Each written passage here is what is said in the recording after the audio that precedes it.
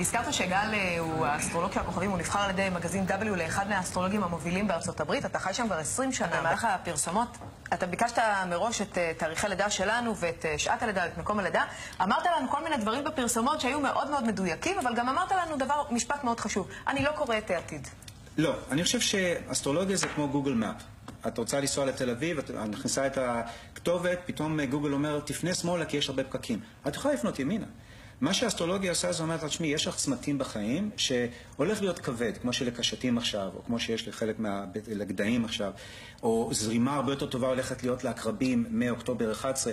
יש איזשהו אלמנטים במפה שיכולים להגיד לך, יש צמתים מסוימים, אבל הבחירה החופשית היא שלך. אני מאמין שאנחנו קובעים את העתיד. מה שהאסטרולוגיה עושה זה להסתכל על העבר, להבין את ההווה, כדי לתת את הכלים להתמודד עם העתיד. וזה דבר שלמדתי בהוליווד, כי הרבה אנשים התווכחו אלפי שנים מה יותר חשוב, גורל או בחירה חופשית. זמנים להרצאה שלו בטוקהאוס ביום רביעי הבא, בתשע בערב, ותחפשו בגוגל את כל הפרטים, וההרצאה תעסוק בעיקר בשמות. בשמות. מרתק, מרתק, מרתק. עד מתי אתה בארץ? עד uh, ספטמבר 12.